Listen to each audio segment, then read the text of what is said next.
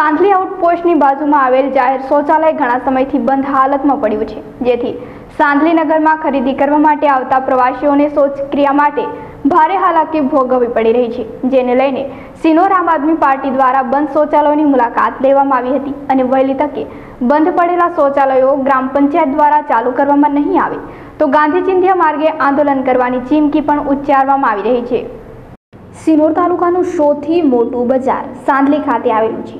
જેની અંદર દરરોજ સિનોર તાલુકાના ગામો તેમજ ભરૂચ જિલ્લાના કેટલાક ગામોમાંથી પ્રવાસીઓ તેમજ વેપારીઓ શાકભાજી સહિત દરેક જીવન જરૂરિયાતની ચીજવસ્તુઓની ખરીદી કરવા માટે આવતા હોય. જેથી તેઓને શૌચક્રિયા માટે હાલાકી ન પડે તે માટે જિલ્લા પંચાયત વડોદરા દ્વારા સાંધલી આઉટપોસ્ટની બાજુમાં જ એક જાહેર શૌચાલય બનાવવામાં આવ્યું હતું. પરંતુ આ સાંથલીમાં આવેલ શૌચાલય ઘણા સમયથી બંધ પડ્યું છે. જેથી સાંથલી બજારમાં દૂર દૂરથી આવતા પ્રવાસીઓ તેમજ ખરીદી કરવા માટે આવતા વેપારીઓને પણ શૌચક્રિયા માટે ભારે હાલાકી ભોગવવી પડે છે. ત્યારે સિનોર આમ આદમી પાર્ટીના પ્રમુખ નીતિનભાઈ જોશી, તાલુકા ઉપપ્રમુખ નિલેશભાઈ વસાવા, સિનોર તાલુકા યુવા ઉપપ્રમુખ અતુલભાઈ પટેલ સહિત આમ આદમી પાર્ટીના કાર્યકર્તાઓ સાંધલીના ઓપીની બાજુમાં આવેલા બંધ જાહેર શૌચાલયની મુલાકાત લીધી હતી અને જાહેર શૌચાલય ચાલુ કરવાના સૂત્રોચ્ચાર કર્યા હતા અને સાંતલી બજાર ગુંજવી નાખ્યું હતું. સિનોર તાલુકા આમ આદમી પાર્ટીના પ્રમુખ નીતિનભાઈ જોશીએ જણાવ્યું હતું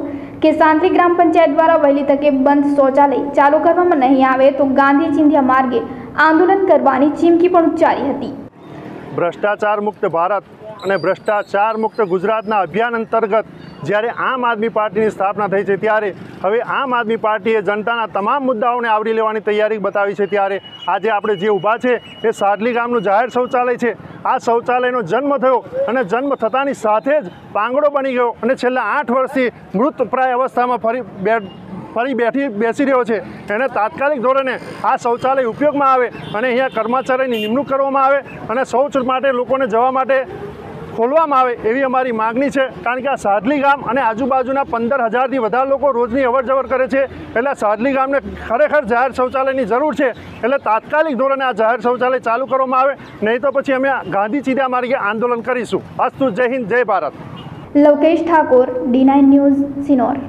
અમારી ડી નાઇન ન્યૂઝ યુટ્યુબ ચેનલને સબસ્ક્રાઇબ કરો ક્લિક કરો બે આઇકન કરો અને મેળવો વિશ્વભરના ન્યૂઝ અપડેટ.